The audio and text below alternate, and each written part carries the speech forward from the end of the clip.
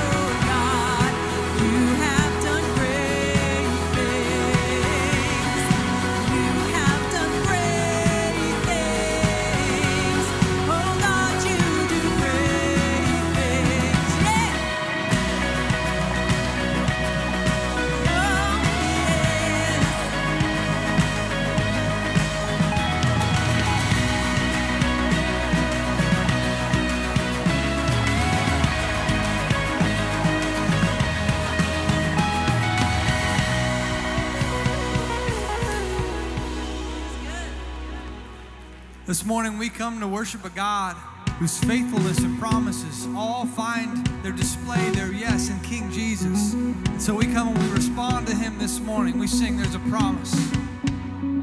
There's a promise. It's a person. He's a savior calling my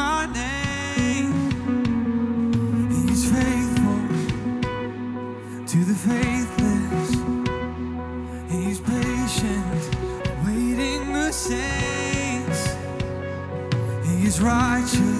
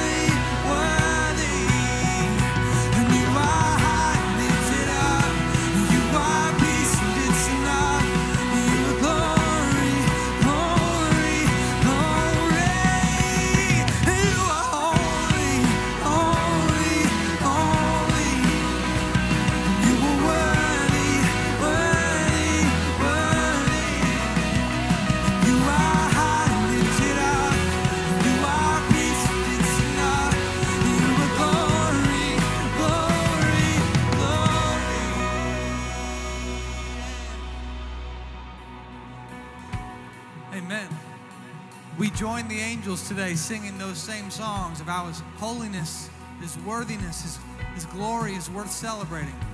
And we also join the angels today in celebrating the fact that we have gained a person in our family, a brother in Christ, who has decided to follow Jesus by confessing Him as Lord and Savior and walking with Him forever. So, will you join us in that celebration today?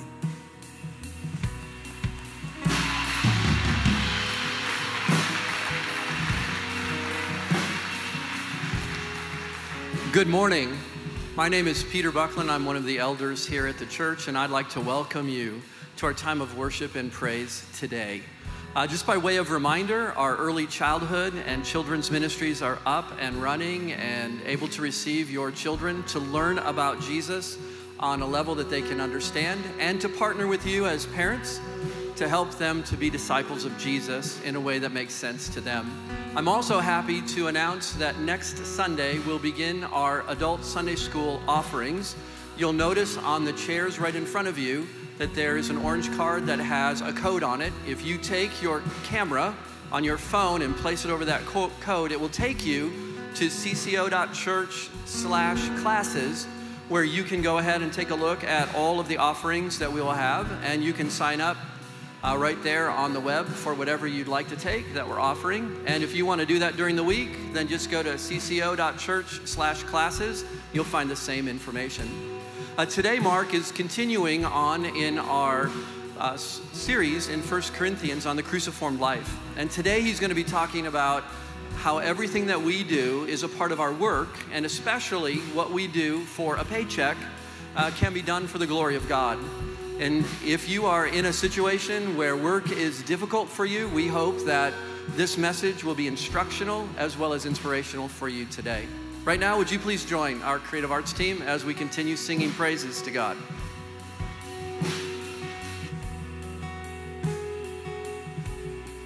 One of the things I love about this church is we are a singing church. And so today I invite you to continue to lift up to our God all that He is as we acknowledge the fact that He has shown Himself in the person and work of Jesus and allowed us to glorify and worship Him today. We sing Jesus the man, Jesus the great I am.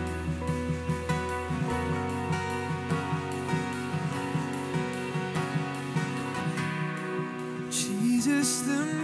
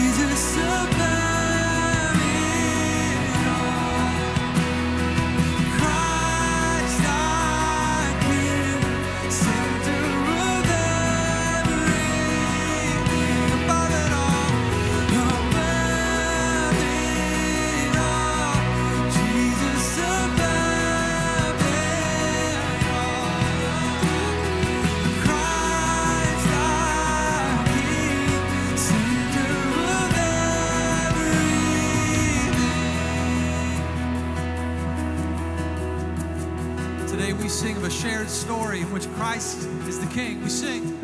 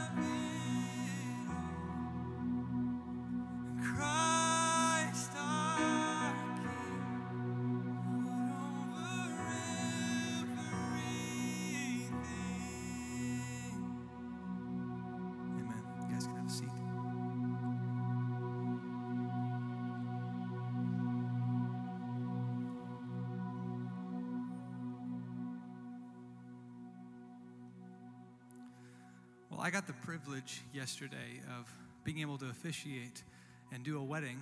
And uh, one of the, the best parts about doing a wedding, and also sometimes the scariest, is when families come together. And but what becomes what makes it most special is that these two individuals are joining lives. And so whatever frustrations or anxiety or stress may come within those moments of preparing to to exchange vows and promises, there's very little that is going to disrupt the fact that two people are going to become one. And one of the things we do in marriage is we exchange rings, right? And we have these rings, and what's funny is that these are kind of old fashioned in many ways. You know, our culture, our, they, what they tell us is, is things just have to be utilitarian, they have to be useful for them to be worth something. But yet we still use these things. You know why? Because sometimes an object isn't about how useful it is. Sometimes it's just about how meaningful it is.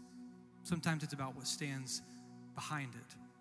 And so we use rings like this and we give them to our spouse and we start to describe them in light of what they represent. A love just like a circle that is endless. And as our love is endless, we give these rings as a reminder that that's what it should be. We're reminded of the expense, the cost, because sometimes love costs us. And yet we give this to our spouse as a reminder that those things are worth enduring. It reminds us of the precious metal that it's made out of, its purity, what all that means, because when love is given, it should be done so in purity and meaning. And we give this to our spouse as a reminder of what all that entails, a helpful thing. And we come today and sitting at Jesus' table to remember that we're not just doing this because it's useful, but because it's meaningful. You see, the bread and the cup, they become for us symbols that say far more than we could ever capture in a sentence. They say far more. And Jesus describes it like this in Matthew. He says, While they were eating, Jesus took bread, and when he had given thanks, he broke it and gave it to his disciples, saying, Take and eat, this is my body. Then he took a cup, and when he had given thanks, he gave it to them, saying, Drink from it, all of you. This is my blood of the covenant, which is poured out for many for the forgiveness of sins. I tell you, I will not drink from this fruit of the vine from now on until that day when I drink it with you in my Father's kingdom. You see, these tiny little objects become so meaningful because they remind us of the great cost, the great sacrifice, the great love that our King Jesus showed for us in his death and resurrection. More than that, they become an invitation, a profession, a confession as we proclaim once more as the body of Christ that we sit at this table not because anything that we offered to God, but simply because he offered something to us. What an incredible grace, an incredible love. And instead of, of simply being sobered by the moment, we also celebrate the fact that this death and resurrection that our King Jesus endured is offered to us. That when we take part in these small little symbols, they would remind us that we've been called to something meaningful, to become something meaningful. They remind us of forgiveness and reconciliation and change that can take place not just in our lives, but in every single relationship that we've ever had. That redemption is possible, forgiveness is possible. And lastly, they remind us that there will be a day that completely rips away every sickness, sadness, mourning, death, when a new eternal life will be offered and we will join a banquet that will be with our King. You see, this is a rehearsal meal, but the true event is coming. And we hold on to these emblems, we hold on to these symbols, and we take them each week to remind ourselves that our work is not done yet. Let me pray. Father God, you are holy and true. You are good and faithful. And we sit at this table acknowledging the fact that we are in need, but also celebrating the fact that you have offered all that we need. And so, Father, we pray that today would simply be a response to who you are, your glory, your might, your grace. And it's in your Son's name, Jesus, that we pray through the power of your Holy Spirit.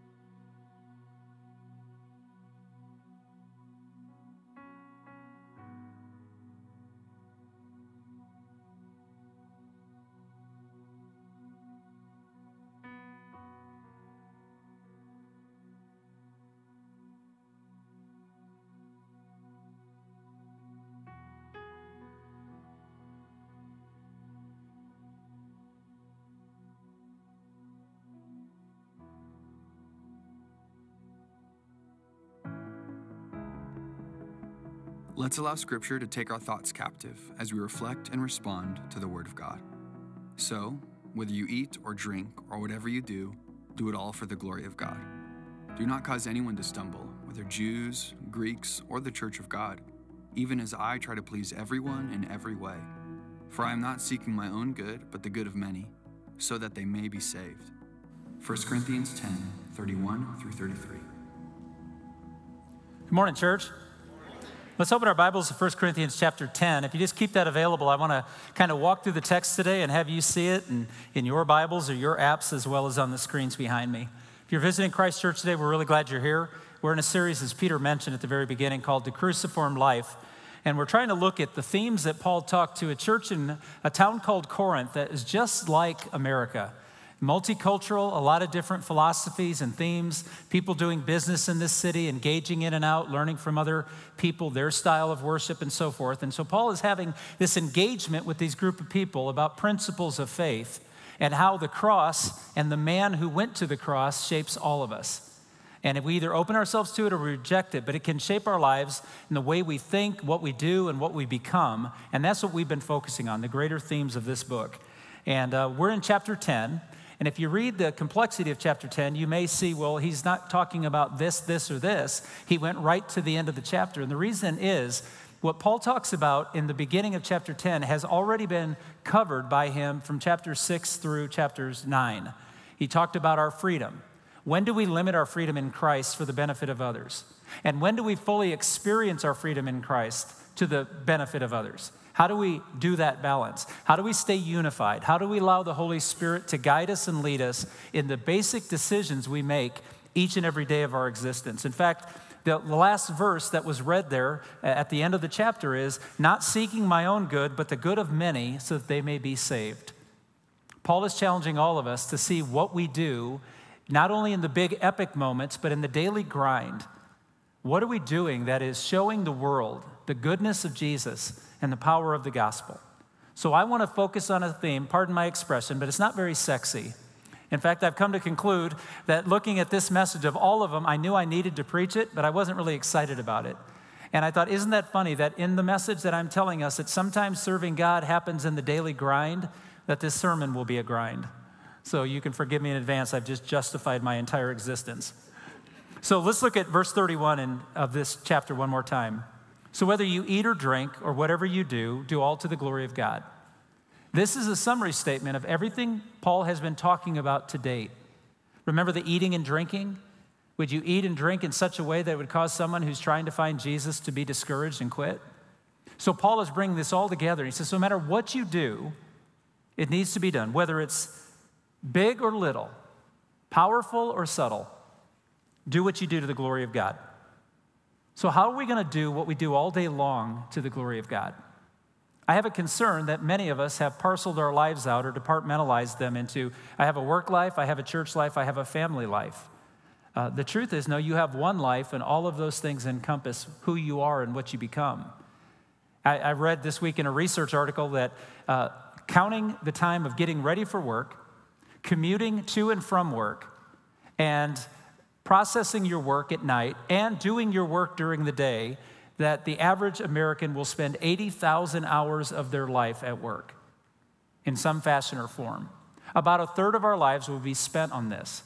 So I want to challenge all of us to not see our work life as independent of our worship life, to realize those are 80,000 hours that can be turned into something that's better and good for God and good for you and ultimately good for those around us.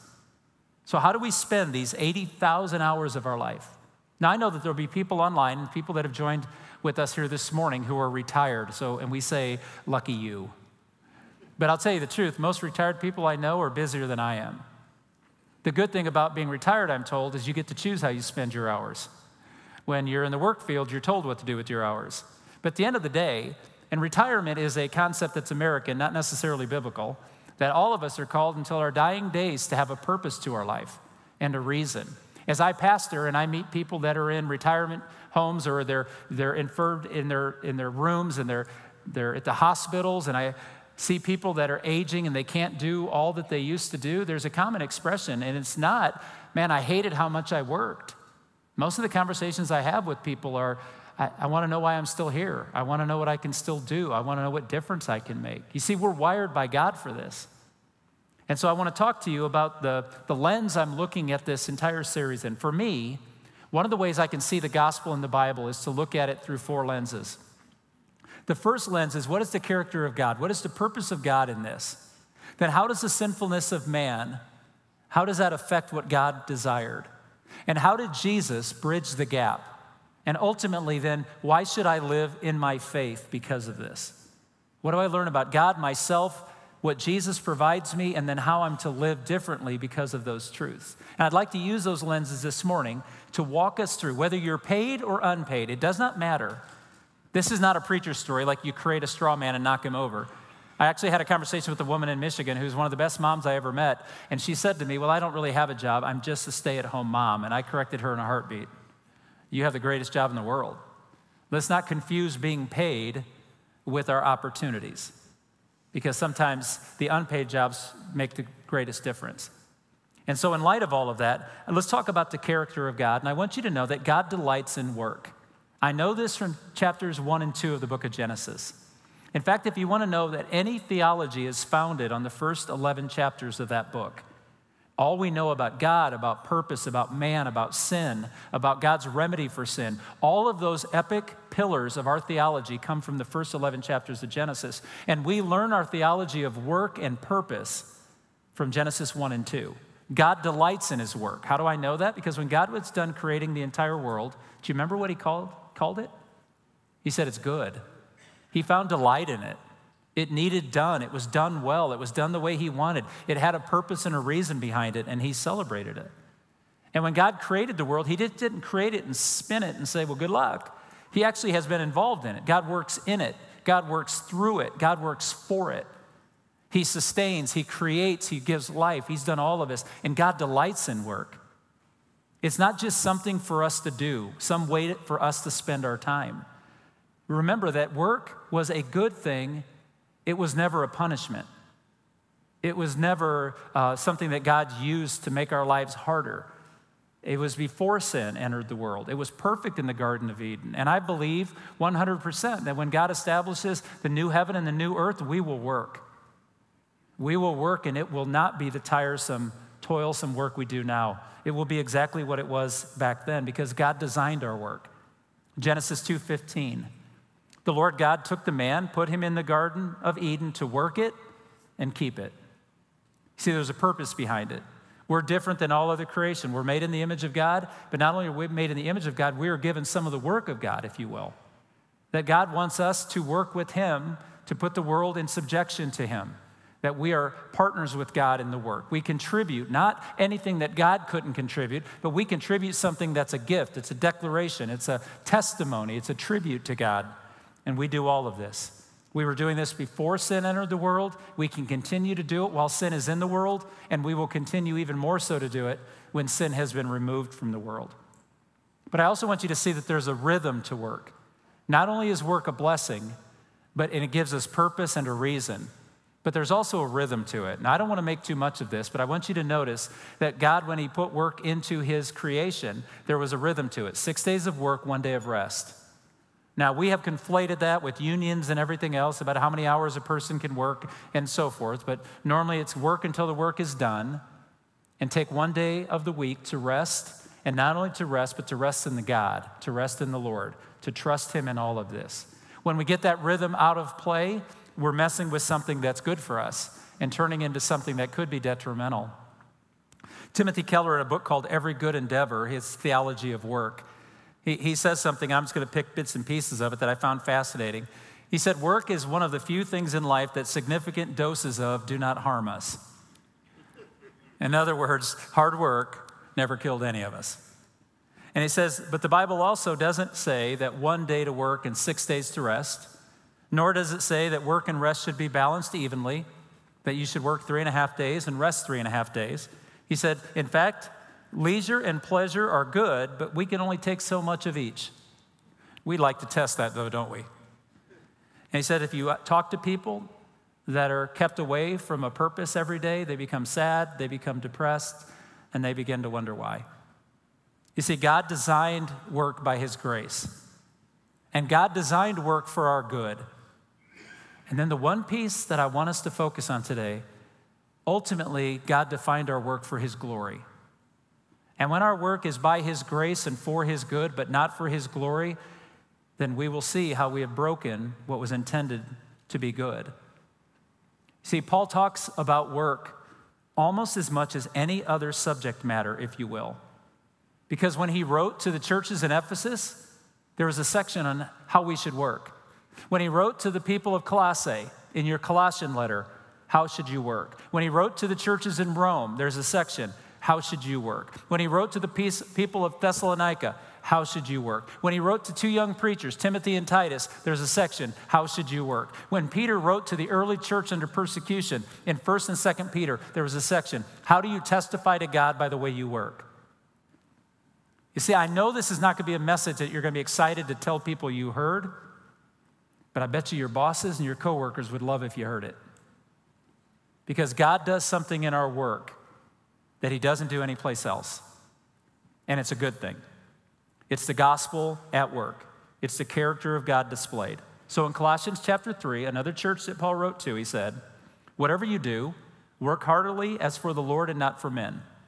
You are serving the Lord Christ.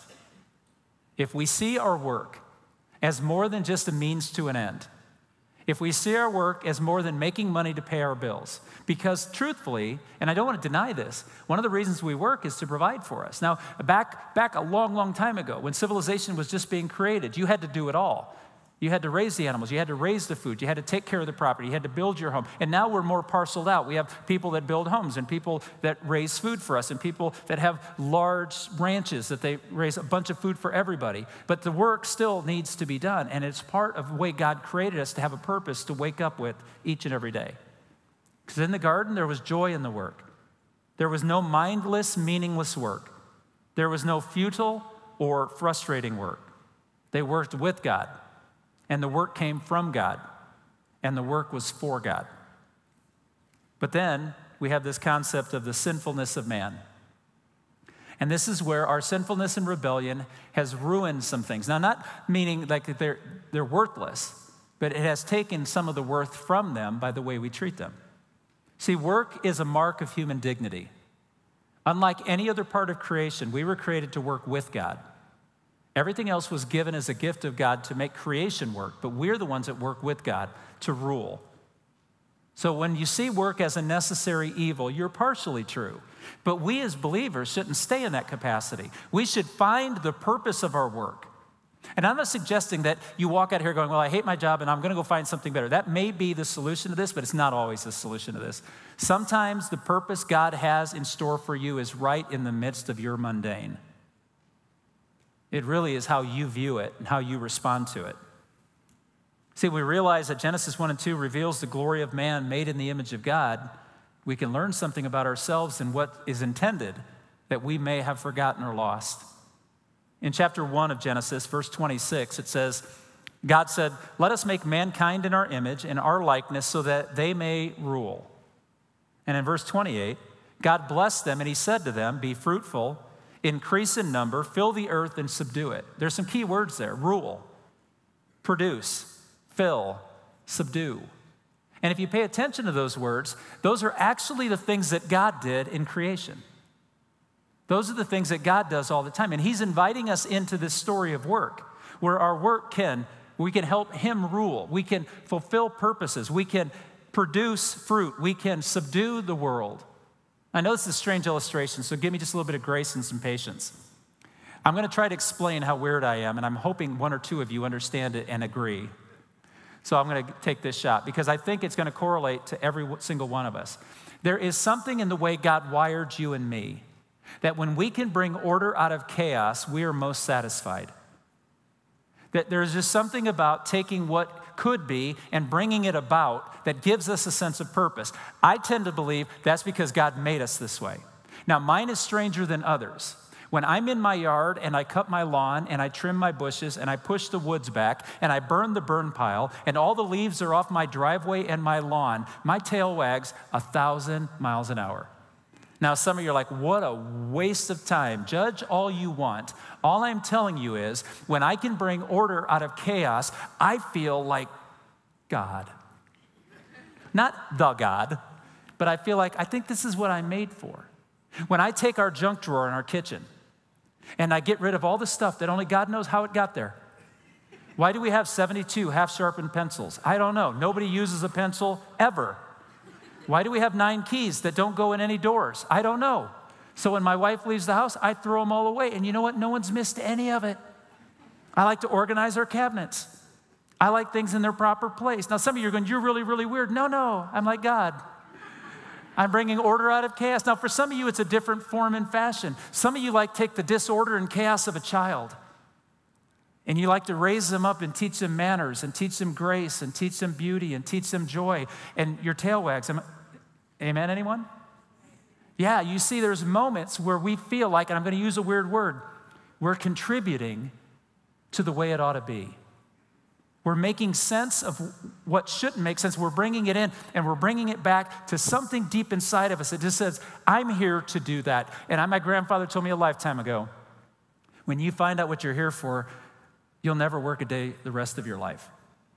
It's just who you are and what you're meant to do. Now, for some of us in the room, you're like, dude, I am 100% doing what I should be doing. Thank God for that. Honestly, thank God for that privilege.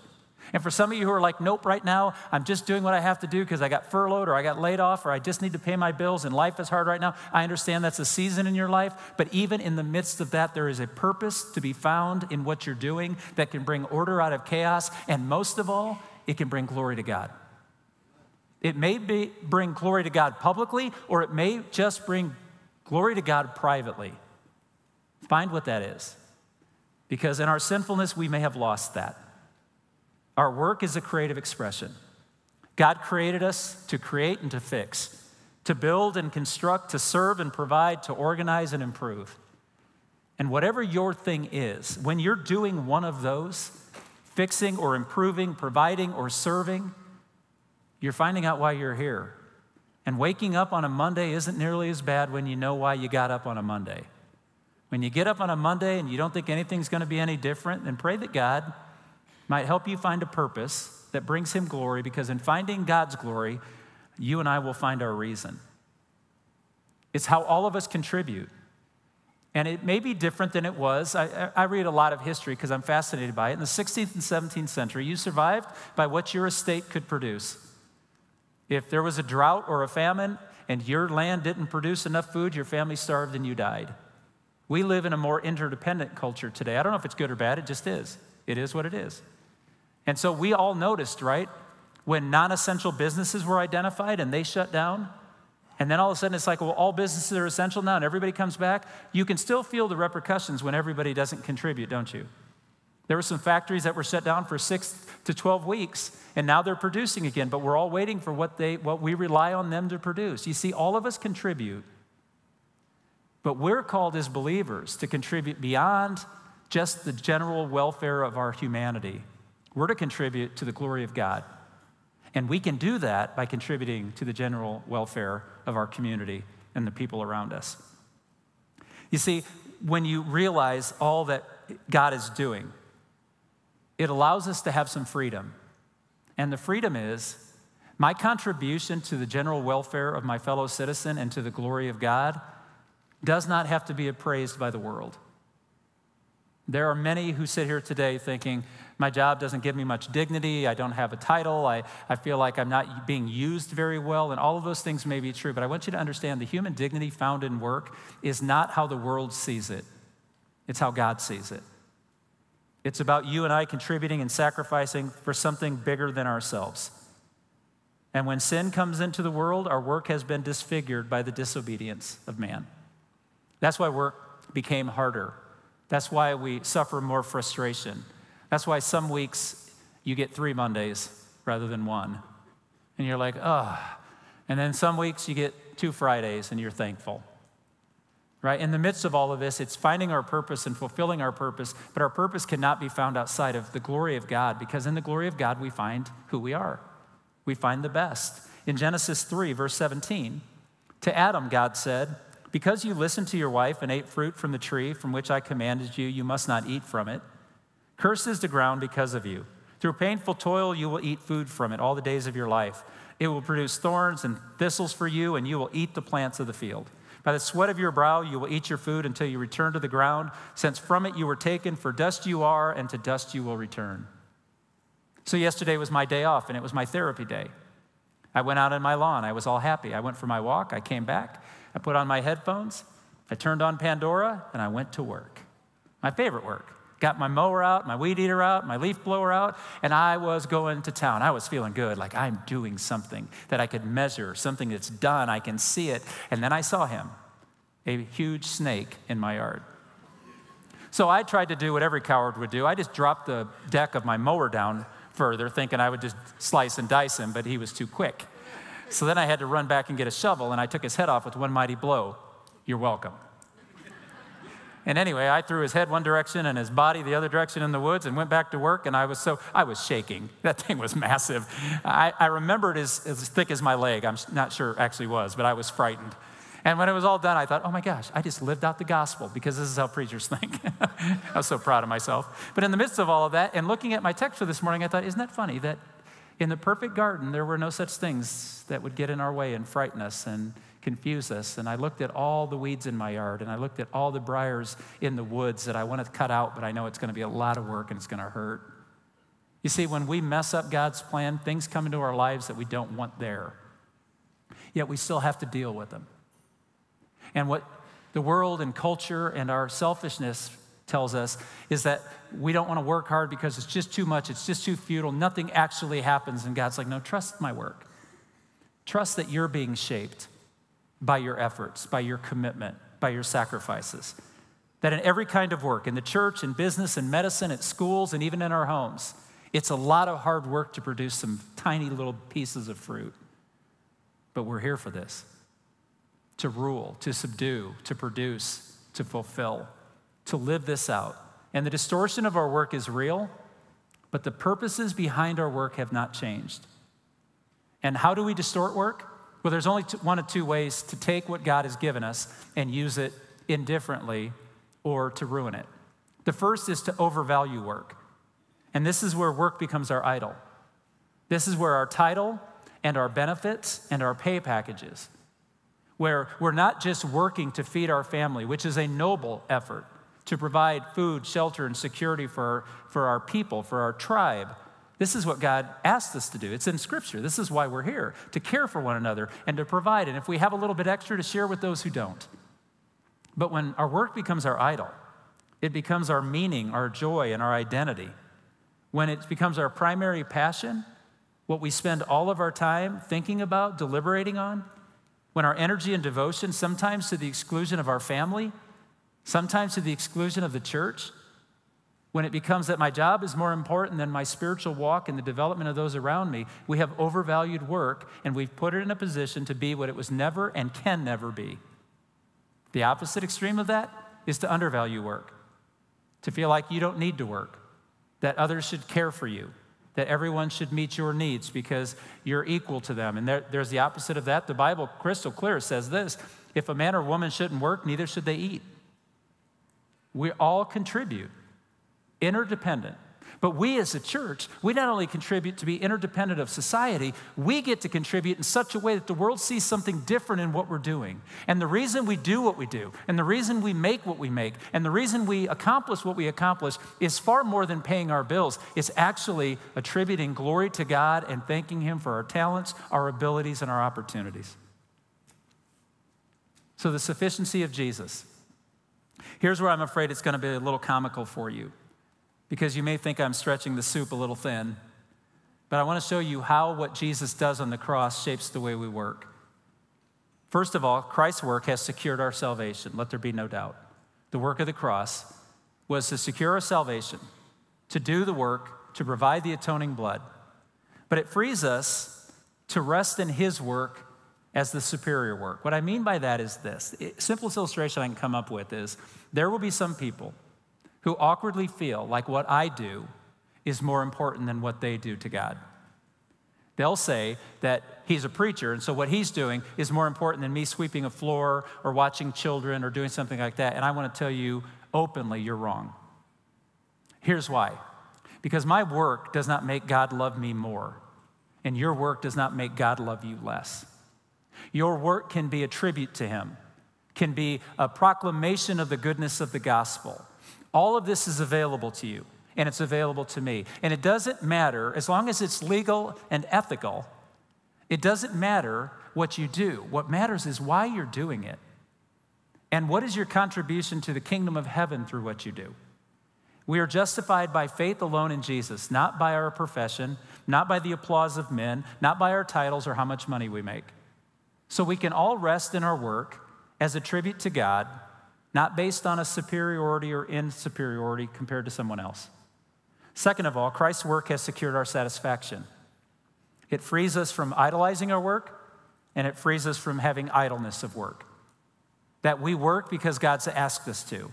We work for His glory and His purposes because God is worthy of it. We don't serve just for the applause of men. In fact, we're, we're talked about, we talk about this quite often. We will have frustration and determination. We will have things that have to happen in our lives. But the truth is, we bring God a gift. Silly story again, but when I'm one of four boys, if you don't know, and we fought every now and then.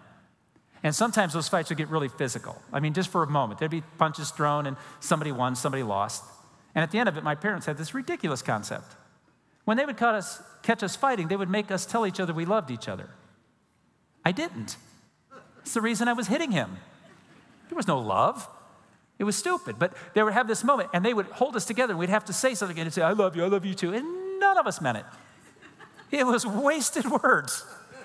But later, when we'd reasoned why we fought, they would come in the bedroom and we would be playing together. And my mom never understood that. My dad's like, ah, just dudes. But they would make us, after the fight, when time had passed and we realized how stupid that was, we would say, Tell your brother something. I love you. I love you too. It meant more then than it did at first. Now, you may say, in my work, I can't think of a way I can honor God. Yes, you can. It may be initially hard, and you may think, I don't even mean this, but if you take some time thinking through it, I believe the Holy Spirit is going to awaken you to the value of your work and the contribution you can make. And then your work becomes alive, and it'll make a difference. The necessity of faith you and I are free by God to worship God in our work. And not only to worship God in our work, but to show others how they can find worship in work too. Once again, Colossians chapter 3, verses 23 and 24. Whatever you do, work at it with all your heart as working for the Lord, not for human masters. Since you know that you will receive an inheritance from the Lord as a reward, it is the Lord Christ you are serving. We're to work honorably, we're to work humbly, and we're even to work eagerly.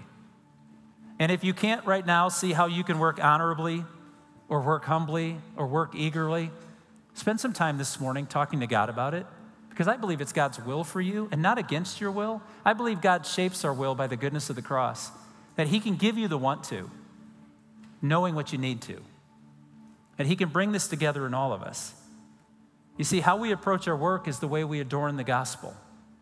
That's why Paul talks about it to almost every church he writes a letter. He wants us to say, don't just profess it. Remember, we talked last week. There's a difference between being for Jesus and being with Jesus. There's a difference in believing Jesus should be praised and actually living your life to praise Him. And this is where work is the daily grind. It's not the big stage, it's not the fancy moment, it's not the grand proclamation. It's the everyday proof that the gospel has altered us. That's why when Paul wrote, preacher named Titus, he said these words Teach slaves.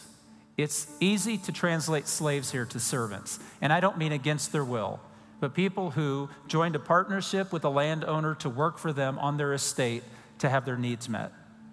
Teach servants to be subject to their masters in everything, to try to please them, not to talk back to them, and not to steal from them, but to show that they can be fully trusted so that in every way they will make the teachings about God our Savior attractive. I want you to notice that last verse. So they will make the teaching about God our Savior attractive. This is why Paul repeatedly called Christians shaped by the cross to live their lives of sacrifice, serving the greater purpose of work, so that the world can see what someone who understands the goodness of our God, how they live their lives in the 80,000 hours you will invest in your occupational pursuits and in your retirement and beyond. Work in every way that will make the teachings of God our Savior attractive. We work to adorn the gospel and the one who brought it to us. Let's stand together.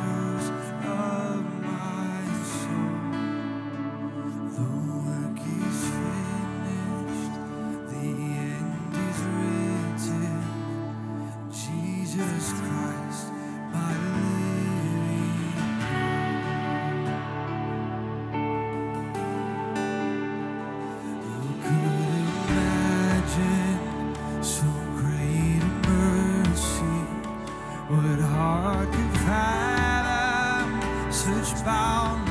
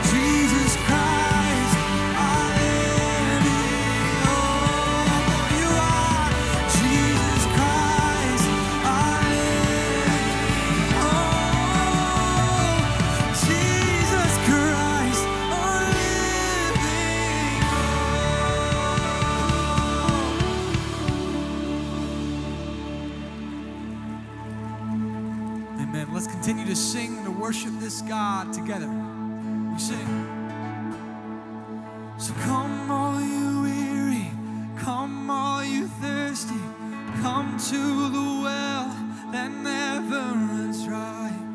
Drink of the water. Come and thirst no more. We sing it. We celebrate. Come on. Come, all you sinners,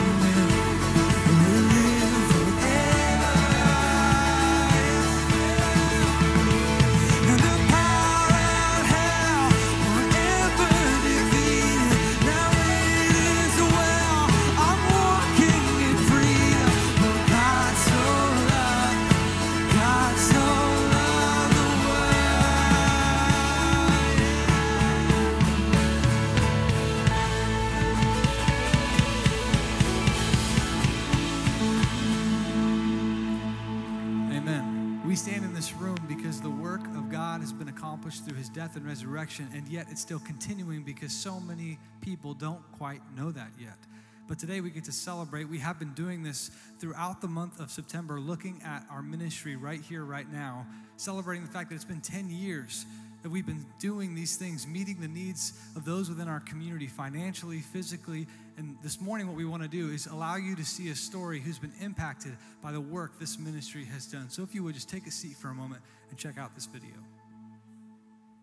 Graduated high school, um, I went to college in Arkansas for a year. And then after that, I got married really young. Um, and we started a family. And my then husband joined the military. So he was in the Army and got moved around a lot, got deployed. Um, we lived that life for 12 years as a military family. Um, and then whenever we were, he was getting redeployed to Iraq for a second time, he decided to leave. And so the kids and I stayed here. When we moved back to Missouri, I was searching for a church to take my kids to. And um, there were a lot of families that were from the church in Carthage that I trusted so much in high school that now attended Christ Church. And so that's how we came to start attending here. So I've actually been a recipient of a Right Here, Right Now gift. Um, my boss at the time approached me and said, Hey, I know that you're struggling with this. And what had happened was my son got a tooth knocked out during a soccer game. And he knew I was a single mom raising two kids by myself on one income. And so he said, I put this request in, and the church wants to help.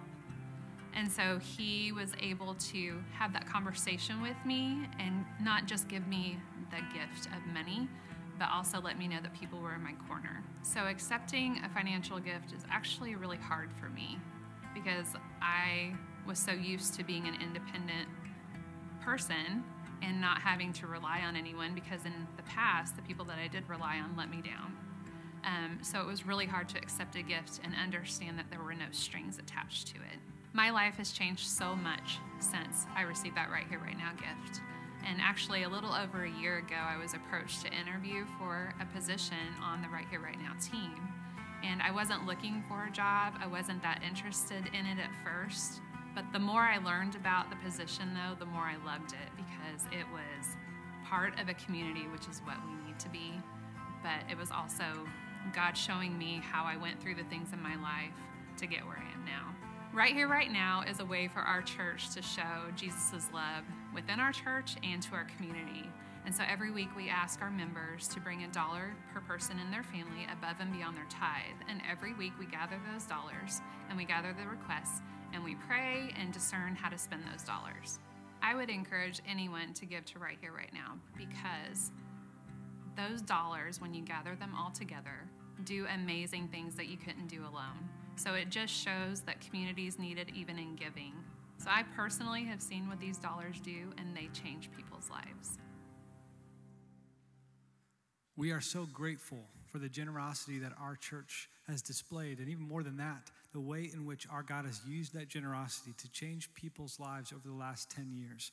And the truth is, if you want to continue to bring a dollar for everyone in your family every week so that we can continue to meet those needs, uh, please do. But more importantly, even than that, is that we want to know who it is in your life, whether it's in uh, your family or neighborhood or workplace, someone you know who's struggling and they could just use a blessing, whether that's mowing their lawn or fixing their car or paying a house bill. We want to know because we want to be the church in the world, changing it for the kingdom of God. Because the truth is, God's finished work, what that means for us is that it just begins. And so we need to begin to join him in it as we see those opportunities arise and make themselves available. So you guys are dismissed to go because our work is not done yet. Have a great week.